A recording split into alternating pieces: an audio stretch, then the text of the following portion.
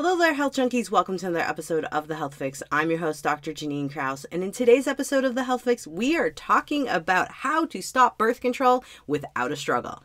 Now, how did this topic come about? This is actually a request from one of my folks in my Facebook group. My Facebook group is Find Your Health Fix. And I will take suggestions and questions. As you know, if you've been listening recently, I've been answering a lot of questions, and this one is a good one because I get asked all the time. Hey doc, is birth control even healthy for me? Hey doc, I want to get pregnant. How do I stop the birth control? What do I need to do? So, I'm here today to talk all about this. But first and foremost, before we get into that, I got to talk about what the heck is birth control anyway, because it sets you up for understanding what types of things you might be dealing with when you come off of the birth control. So there are a variety of different types of birth control. There's the oral types, there's patches, there's the NuvaRing, there's the mini pill, there's also the implants, and then there's injectables like Depo-Provera. They're all relatively going to do similar things, but they have different ingredients. So your birth control pill your NuvaRing and your patches are all very similar. They're a combination of the pseudo hormones. Now, note that I say pseudo hormones. And the reason I say this is because they don't look like our natural hormones. They're not bioidentical like what we use with perimenopause and menopause. These are pseudo hormones. They look different to the body. So that's why we do get side effects with these things. So the pseudo hormones that look like estrogen and look like progesterone in that combination. So if we're doing a pill, we're doing a patch, or we're doing a NuvaRing, these guys we have to help the body kind of figure out what to do once these come out of the system. And I'll be talking about that in a little bit later, but the the ethinyl estradiol and the Levon this one's hard for me. Levonorgestrel. This is your your progestin, so your pseudo progesterone that is in the birth control, these guys have effect on the body that work to thin the lining of the uterus so we can't implant any eggs in there. So basically it, it, it, keeps your soil from being nice and fertile for pregnancy. And then we have the the issue with all of the pseudo estrogen like symptoms. So, what are these birth control pseudo hormones doing in our body? Well, they're basically shutting down our natural hormone production. And in the case of the progestins, which is that levonorgestrel, that guy is ultimately thinning your uterine lining so nothing can implant.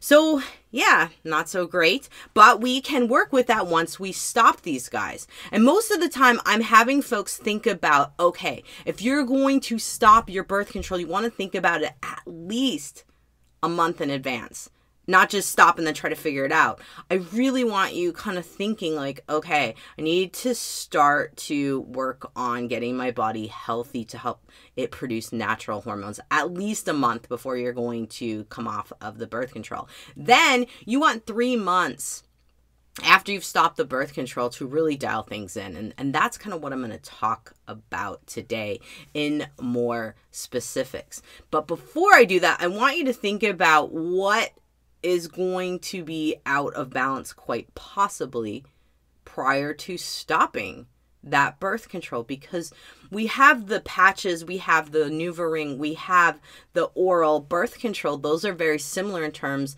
of they have two pseudo hormones in them.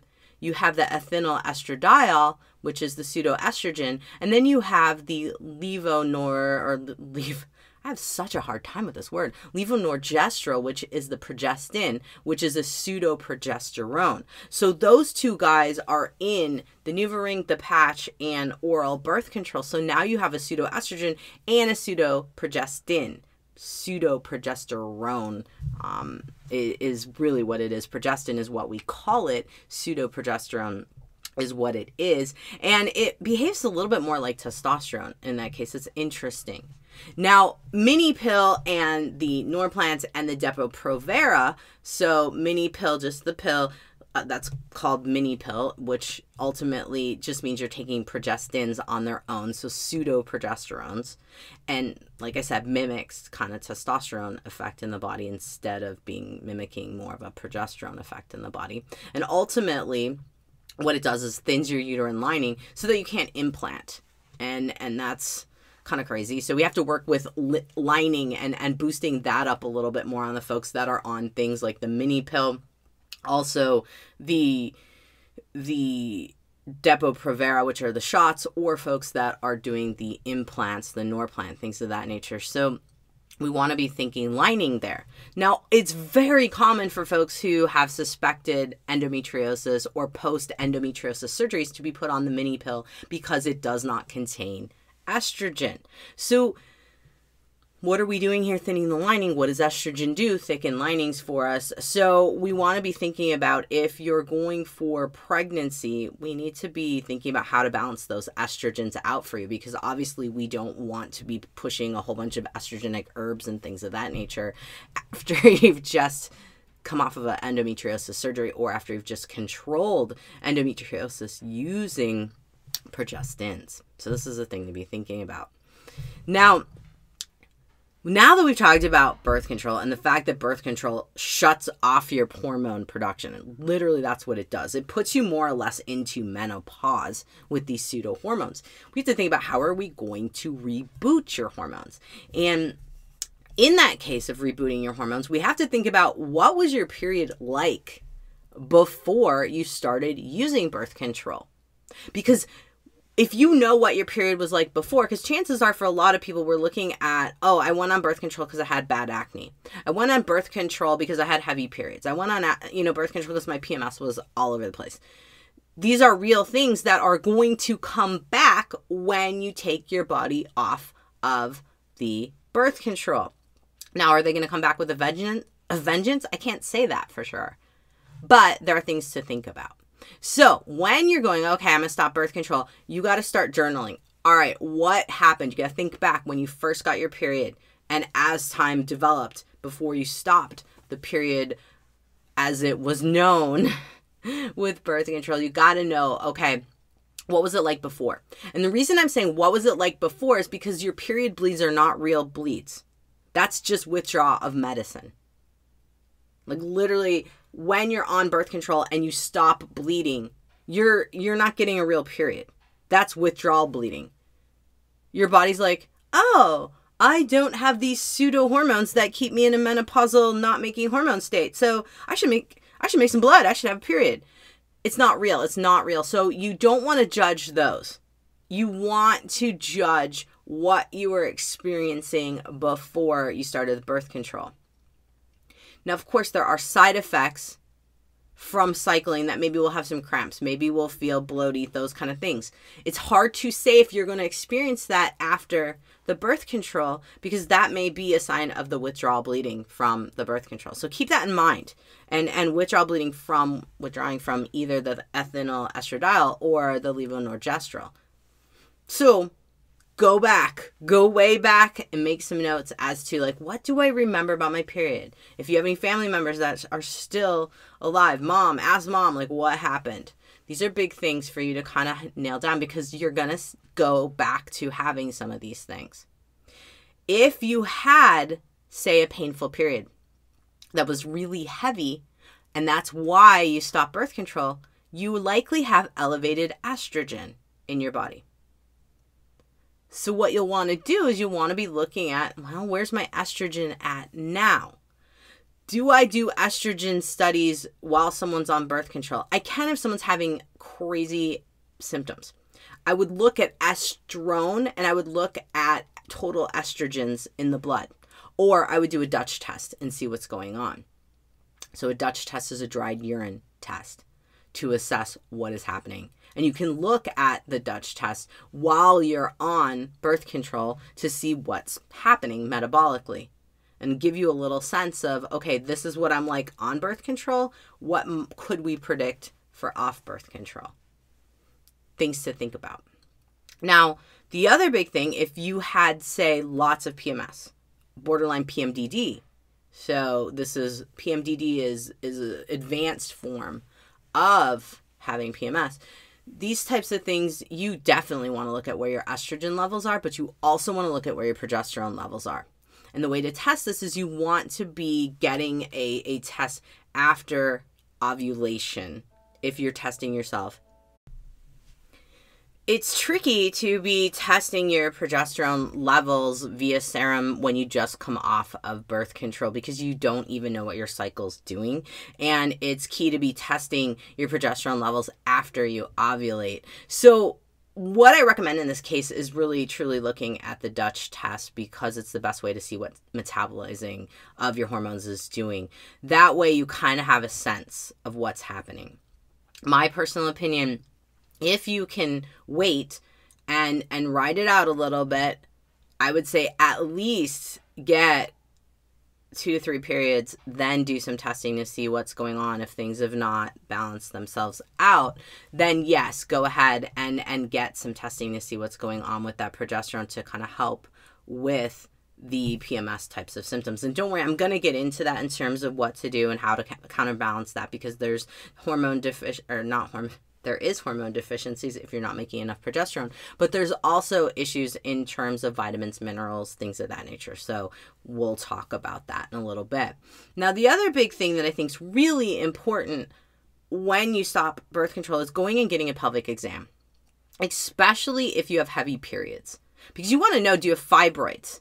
Do you have growths within the uterine lining or within the uterus itself, the muscle tissue of the uterus that are contributing to these heavy bleeds. And when I'm talking about heavy bleeds, I'm talking about bleeds where you're you're going through a tampon an hour or even faster than that or you're you have heavy flow but you stand up and all of a sudden you have like a gush and you're like my god am I hemorrhaging? What is happening here?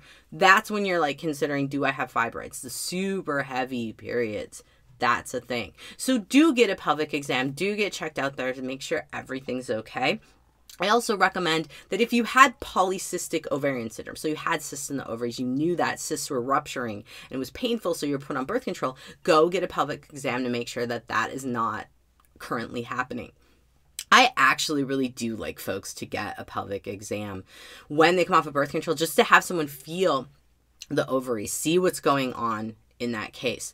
Because you never know what all of these pseudo hormones have done to your body. I don't want to panic you. It's just something to get more information.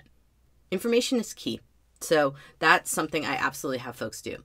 I also have folks before they come off of birth control do some metabolic testing, meaning I want to know where's your magnesium levels at? What's going on in terms of your white blood cells, red blood cells? Are you anemic? What's going on in terms of your iron balance? So your ferritin, this is your iron stores in your your liver, but also your B12, your folate, I want to know iron binding. I want to know iron binding capacity. So that's called TIBC.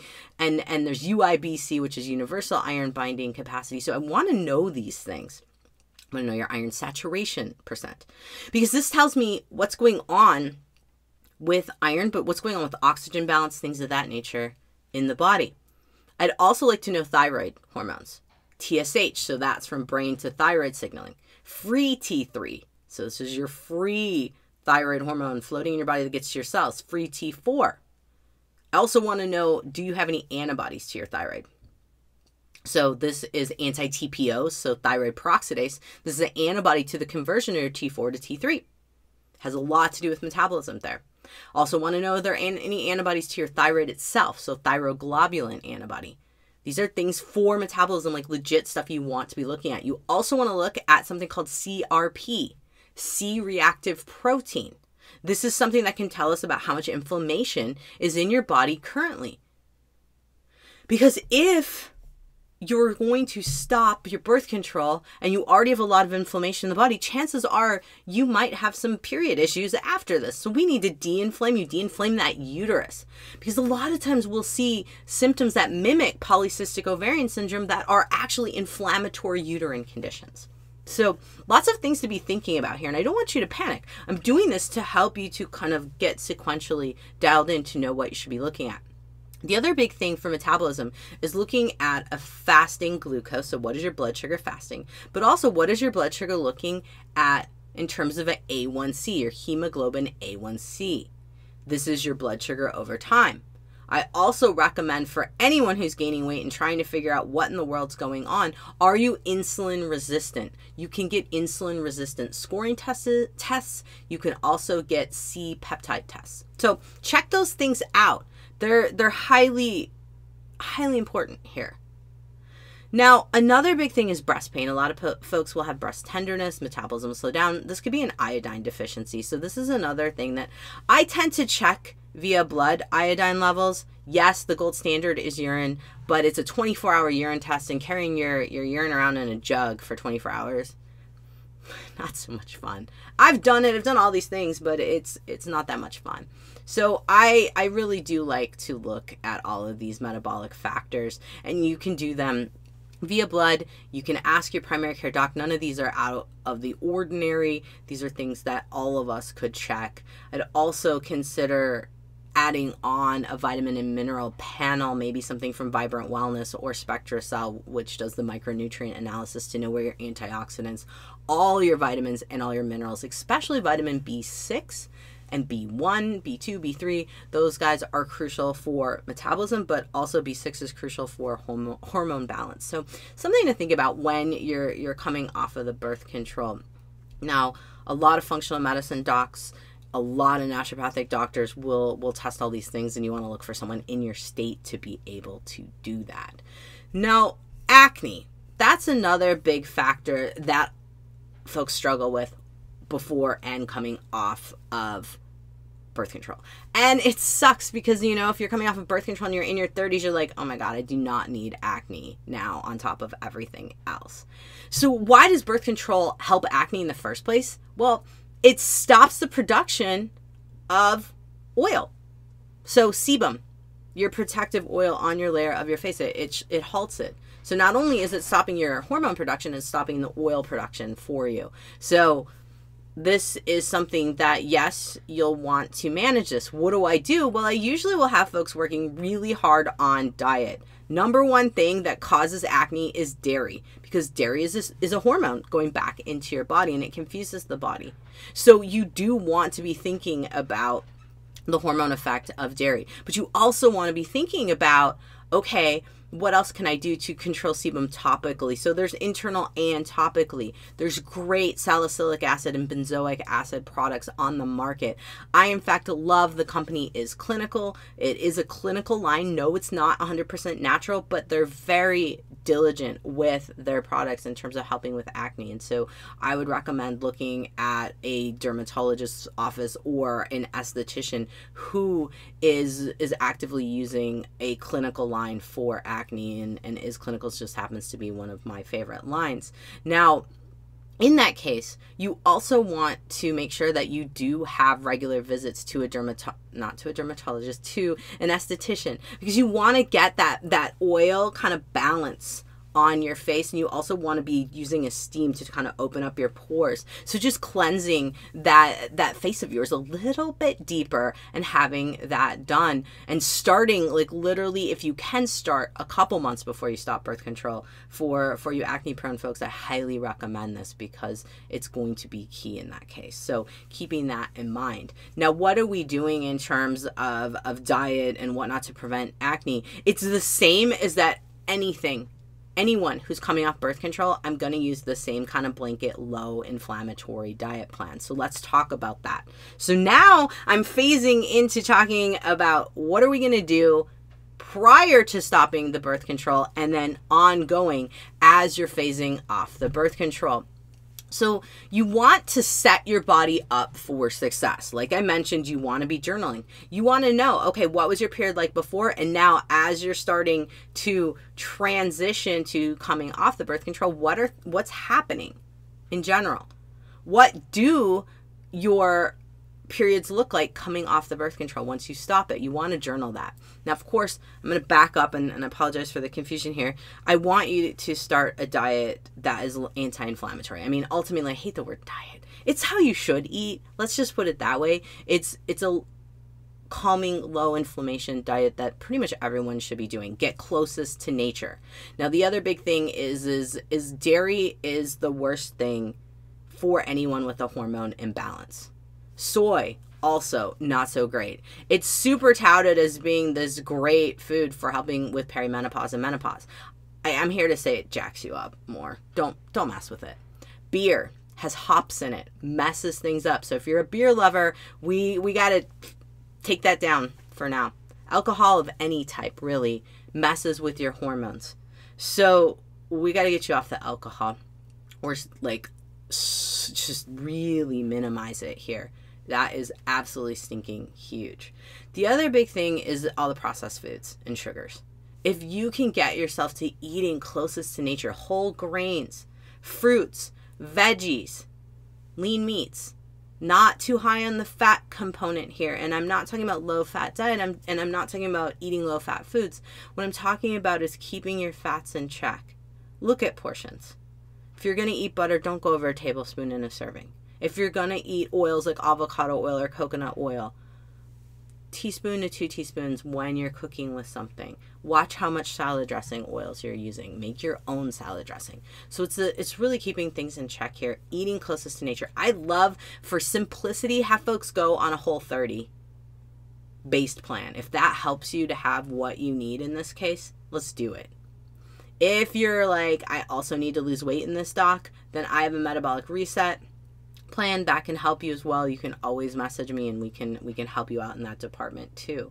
So really key for preventing any major issues related to inflammation. So acne, painful periods, PMS, PMDD, super just cystic ovary kind of stuff.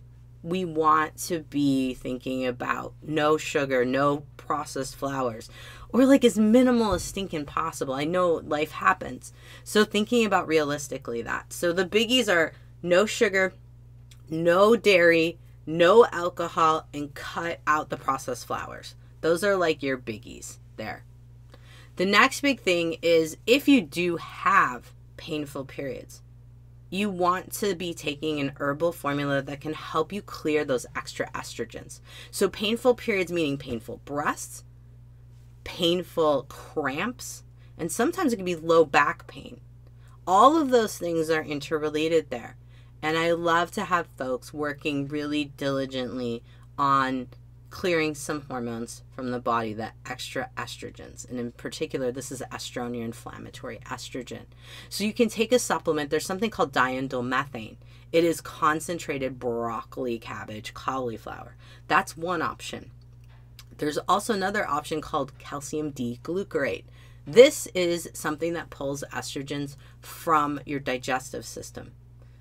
In my world, I like the combination of both something called CDG Estrodim. What the heck is that? It's the combination of the calcium D-glucarate to pull the estrogens from your gut and diindolylmethane pulls the, the estrogens from your liver and helps you to metabolize them better so that you don't have the pain, you don't have the cramping, things of that nature. There are a couple brands out there. I really like Orthomolecular's CDG Estrodim is what it's called. Don't worry, I'll put all this in the notes. I'll have a great detailed like explanation of everything I'm going through here because I don't want you to feel like you're alone in this. And by the way, I'm using resources from a couple of my friends here, friends, if you will, um, in in the natural medicine world. Lara Briden has a book, The Period the period repair manual. I interviewed her. It's episode 129 if you want to go listen to that. She's awesome. And really, her book talks all about what to do off birth control. So period repair manual, you can get on Amazon, you can get an Audible. However, it's it's a great book and, and it is something that I recommend to patients all the time. Now, the other side of this is working on cycle charting, and I'm going to talk about that here in a little bit. And that comes from Jessica Liu and Nora Pope, who I interviewed not too long ago. I have to look. That's episode 232 if you are wanting to go back to there, they're going to talk to you about how to cycle chart because a lot of folks, when coming off of birth control, we're trying to not get pregnant. We just don't want to be on the birth control anymore. And so cycle charting is key for that. So we're going to talk there. So I talked about heavy periods. I talked about what to do if you've got some acne. I also need to mention at this point that magnesium can be extremely helpful for anxiety, PMS, PMDD, having painful periods.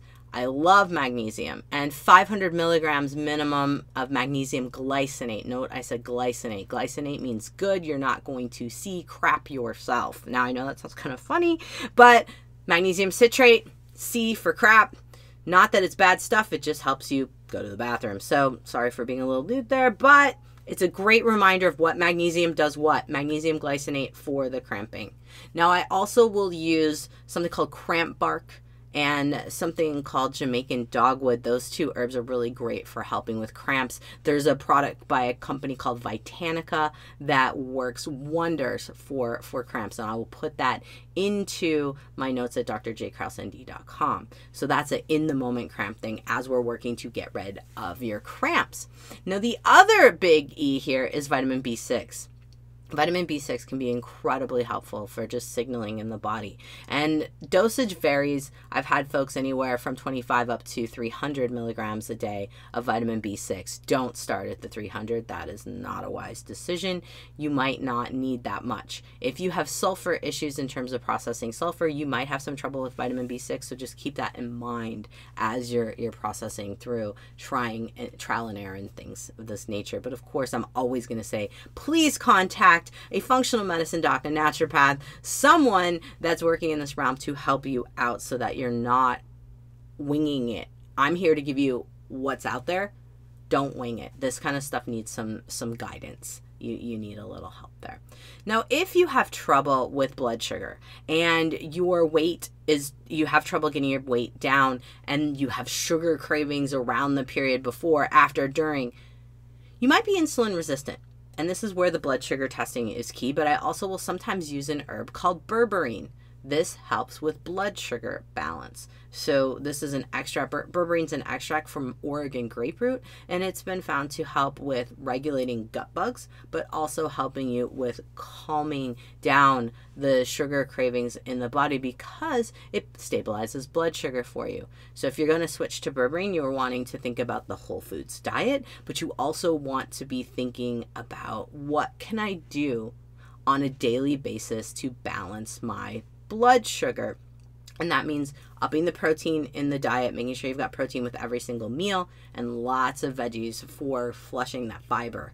Key stuff there. So, especially if you have polycystic ovarian syndrome or you suspect you do, you've had cysts in the past, get the blood sugar dialed in. Start your day off with protein, veggies, and a little good fat versus a carb rich meal. It, it works wonders. Just saying. So, the other big thing is maybe you have the type of polycystic ovarian syndrome that you're not provoking a period. And so you're worried about coming off the birth control and not getting a period. How might you change things? To get a period, you need progesterone. When we're stressed out, the body steals progesterone. Literally, it steals the precursors to progesterone to make cortisol. So there might be two factors here. If you're super stressed out and you're not getting a period, we want to consider what can we do to help your body balance the adrenal hormones and the stress. Adrenal Health by Gaia Herbs is one of my most favorite herbal formulas to just help put things in check. There are a ton of adrenal formulas out there. That one just happens to be the one that's the easiest to get a hold of. Now, the other side of this is progesterone. How do we help you to make a little more progesterone naturally? There is an herb called chasteberry or vitex. You can start taking this at a thousand milligrams, usually from mid cycle to start of the cycle. But if you don't know where your cycle's at because you haven't had a period, you just start taking it continuously until a period is provoked. Now, you could also use bioidentical, so closest to your body's production of progesterone in a cream form or in a pill form to also provoke a period. And this is something that either you know conventional docs your your gynecologist your naturopath anyone can can help you with in this case. It's not out of the realm of conventional and natural medicine. It's it's all encompassing to provoke a period. So progesterone would be something that i would think about in this case but i want you to go through three periods before you three cycles or three months before you officially start using the Vitex to provoke a period. And of course, you want to get your pelvic exam. You want to get all those things checked out. So, something to think about if you didn't get a period before birth control, you started the birth control, you come off the birth control and nothing's happening, we need to look at progesterone and possibly using the, the herb chasteberry to help you in that case. You can also use something called evening primrose oil at a thousand milligrams as well as a stimulatory progesterone effect. Things to think about. Now, the bottom line here in in everything with with periods is we want to be thinking about knowing our cycle, knowing what's happening on a monthly basis, watching for intricacies. Because if you don't get a period right off of coming off of the birth control, we have to look for clues. Is there a middle Mittelschmerz, meaning like a little bit of a cramping midway through the month? Is there, for example, do we have cravings for carbs, sweets, salty stuff? Is it like an overt, like, I need chocolate now situation? If that's happening, you're definitely going to be magnesium deficient. Just saying, chocolate is magnesium. But you're also, your, your body's giving you signals that something's happening. And you can track that. Also, insomnia, constipation, diarrhea. So, gut changes where your body's going to be going through a cycle can happen too. So, pay attention to these little intricacies from when you stop the birth control and just go along the lines and see if you can connect any dots. Part of this is also looking at something called cycle charting. And I like to do it as in, in conjunction because getting more information about your body but also being able to chart is key because we need to know what kind of flow is coming out of the body. Now, red flow obviously period right? Chart it from the first day the period starts, that's day one of your cycle, to when your period stops, meaning blood flow stops. Chart that. When do you have red flow? Then you should have dryness in between there, so you're not having any flow. And then you start with mucus, cervical mucus. And this is your fertile window. From when that cervical mucus starts to ovulation, and then afterwards, you have a fertile window. You ov- when you ovulate, you have three days before, three days after that, you're fertile. And these are things that you can chart just by looking at that cervical mucus. It's sticky, it's stringy, it sounds kind of gross, but it, it, it's something to be very familiar with. And the more egg like, egg whitey, stringy it is, the more fertile you are in that time frame. Checking your basal body temperature is key too because you can see if your temperature goes up in response to ovulation. So I often will have folks doing something called cycle charting. It's much different than looking at an app. Now I don't I'm not opposed to apps. I think you can also do that as well, but the cycle charting is kind of old school. It has papers that go with it. There's a, a website called fertilityawarenessproject.ca, so it is a Canadian website, and you can actually get downloadable charts on on for this for you to do the cycle charting. Now, if you're wanting to know more about cycle charting, I did do the episode 232 with Nora Pope and Jessica Liu. Those two gals talk all about it. They have trainings for us docs like me, naturopaths, and, and conventional docs on cycle charting. There's also the Justisse Project. Um, that is uh, Justisse practitioners excuse me and that's in canada as well and those folks also have more education on this and i think it's worth checking out if you're wanting to know how can you enhance your fertility or how can you prevent pregnancy in a way that is dialed in where you're paying attention to your body really really well now, you might be thinking in this case, Doc, I don't know if I have cervical mucus, or maybe I don't produce it.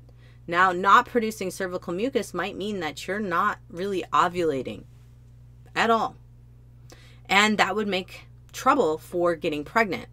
Now, it might also mean that you might be missing the window of when you're ovulating. So, this is why it's key to check for that cervical mucus because sometimes people will start to ovulate on the back end of having their period. So, much earlier than that day 14, we've all been told that we're supposed to be ovulating on. Some folks are earlier, some folks are later. So, this is why it's key to pay attention because ultimately, what is going to get you pregnant? Ovulation and sex three days before, after, right on the peak day, that's going to get you pregnant. If you are not trying to get pregnant, those are the days you want to be abstaining from sex because obviously you don't want to get pregnant. So these are things to really, really dial in. Now, there's Lady-Comps. So these are devices that can tell you when you are ovulating, things of that nature. And, and these can be extremely useful as well. I'm not opposed to it. There's the Daysy one as well. Hey, whatever suits you, just chart something. Know what is really truly happening because these apps are not 100% accurate because they're based on algorithms of what is average. And I really think that we need to know our periods. And if we're going to be coming off birth control, you really need to know what's happening. How long do you have your period? How heavy is it? How light is it? Do you have headaches? Do you have PMS? Do you have pain? All of these things are clues as to what's going on in your body that needs some balance, right? You can't just like, I have a lot of folks in my practice who are like, hey, what's the basic protocol for coming off of birth control? Well, the basic protocol is this eat as closest to nature as possible. Get the dairy out, get the alcohol out, get the processed sugars and like honey, maple syrup, that stuff's okay, but get the processed sugars and the white flour out. Get all that out, we're gonna reduce inflammation. That's like first and foremost. Second thing is pay attention. So, cycle chart, look at all of the intricacies about your period. If you have heavy period or painful period, so breast tenderness, cramps, that's excess estrogen. So how do we get rid of excess estrogen? We can take the supplements I mentioned, the DIM or the CDG, calcium D-glucarate, or you could work to try to eat two cups of the cabbage, cauliflower, broccoli family, beets or carrots, mix and match it do that daily to help your body naturally clear hormones out of the gut and the liver. That's a possibility. Now, the next big thing is going, okay, maybe you don't have that, but maybe you're just not getting a period. Maybe you're having these cystic ovary pains, like things happening, cysts rupturing. You want to be thinking about okay, do I need to consider Vitex or Chasteberry or Evening Primrose to try to help me out to balance my progesterone levels? How do we do that? Get some Dutch testing, so dried urine testing to help you to know what the heck's going on. Is it that? Is it maybe we're looking at a cortisol issue? Which leads me into are you having issues with extra acne? Are you having issues with hot flashes, sweating? this could be a cortisol imbalance. So cortisol's high, progesterone's low. You need to balance that out. Or if you're having anxiety, things of that nature. So I highly recommend getting some testing. Now, if you're like, oh, Doc, I can't afford that, but I've got a lot going on in terms of anxiety, things of that nature, ashwagandha can be extremely helpful. Now, it is a caveat if there's any thyroid issues, you do want to make sure that it does not interfere with your thyroid. But at 400 milligrams up to three times a day, ashwagandha can be really useful to help with anxiety and, and things of that nature. If it makes you tired when you take it, take it in the evening. That's perfectly fine. Now, same thing on that line, L-theanine. This is an amino acid that helps with anxiety. You can take up to 1600 milligrams a day. They come in 200 milligram pills, so you could divide it out. Now, that's an option. So, those are things to be thinking about in this case. Another big thing to be thinking about, like I had mentioned before, if you have anxiety, if you have PMDD, if you have a lot of cramping and things of that nature, you might have a magnesium or a vitamin B6 deficiency. Go get it checked out. See if that's the issue. You want to know things before you just start throwing random supplements at at your body. Same thing with heavy periods and anemia. Let's see how anemic things are. Let's look at B12. Let's look at folate. Let's look at all that to see where your balance is in your iron stores. Those are big issues, especially if you have a lot of fatigue that happens either right before, during, or after your period that's a biggie. Migraines are a whole nother like eight podcasts because those are tricky as well. And that is something with birth control that eh, when you come off of it, you could start to see some migraine issues. But like I said before, going back to basics, let's look at it because migraines could be a, a, an issue of a B12, a folate, a B6, a magnesium, or, or some sort of anemia. So big things here. There's also Chinese herbs. I'm not going to go into that, but those are also another option that you could potentially go go into when coming off birth control. So, the bottom line here, just to summarize everything up from how to stop birth control is think about it a month ahead of time. What is my goal? Am I trying to get pregnant? Am I just trying not to get pregnant and get myself healthier? I don't like the side effects of birth control. Okay, great. Let's map it out how we're going to come off this birth control. First and foremost, get the diet on point. Anti inflammatory diet. Take out the alcohol, take out the dairy, take out the processed sugars and carbs. That's going to go a long way. Eating closest to nature, do whole food, whole 30 if you have to. Whatever you resonate with, get the body de inflamed before you take the birth control out. Next thing is looking at once you're off the birth control, okay, what is happening in the scheme of things? Did I get a period? What did it look like? Chart it all out. That way, you know what day it came, what day it stopped. How did your symptoms go before it, during it, after it? What's going on with flow? So, cervical flow. Did you have a couple dry days after your period stopped? That's normal. Did you have any cervical mucus? That's when you're going to be most fertile. When did that cervical mucus stop? And then when did that next period come and what happened in between there? So, all of those details are crucial to knowing what you can do and where to intervene along these lines. Now, the other big key here to be thinking about with your periods is all right, I I haven't stopped my birth control yet. What can I predict? Keep in mind, you will likely go back to whatever pattern you had before you started birth control. If you didn't get a period and you just went straight on birth control, it's a crapshoot. Sorry. I don't know what to tell you. But if you had a period before, likely your period when you come off the birth control is going to be similar. So thinking ahead of time what do I need to be dealing what do I need to work with? If you had horrible painful periods that were super heavy, likelihood you have estrogen elevation. So start dialing in the supplements or the foods to help you to clear out that estrogen before you actually go for taking the birth control out. Prep yourself a month ahead of time. Get some testing. So the Dutch test especially for you folks who had painful PMSE, PMDD, all those, you know, intense periods, even acne, I do recommend looking at the Dutch test, so the dried urine hormone metabolism testing, because it is crucial and and it's key to helping you to kind of speed up the process of not playing around of oh maybe it's this oh maybe it's that you want to get somebody to help you with this. But bottom line is test don't guess. Look at your metabolism factors like i said before. What's going on with your blood sugar processing? Where is your magnesium your iron? Where's your thyroid at? What's going on with inflammation? So looking at c-reactive protein. You want to know where are you at before you stop the birth control. Then once you stop it now it's go time. And it'll take three months to really regulate things so be patient with yourself and know that the more effort you put into yourself, the more you're going to see results. And stress management, also on top of these things, super key to helping you to have that period dialed in. So once you know your data, start working on dialing in your routines to make them a little stress proof. Take your breaks during the day, start your day off with a great chill routine and end your day with a great wind down routine. So dial all that stuff in and you're going to notice that coming off birth control isn't so terrible. Yeah, you're going to have ups and downs, I'm not going to lie. But it it can be done. You can do it and get some guidance.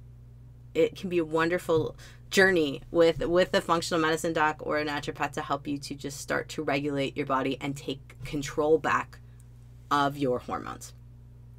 All right, everybody, that's my spiel on how to stop birth control without a struggle. I'm your host, Dr. Jannine Krause. You've survived another episode of The Health Fix. I hope you all have a great day, whatever you're doing. Thank you for listening to another episode of the Health Fix podcast. This podcast was brought to you by BLUblox, the blue light blocking glasses. If you follow me on Instagram, you will see me wearing my computer glasses. Those are the Galaxy version. They're fabulous. I have not been having headaches in my office thanks to those awful awful overhead lights that we have. Those buggers are blah. So, anyway, blue light blocking glasses, game changers for your health. Check out them at blublox.com.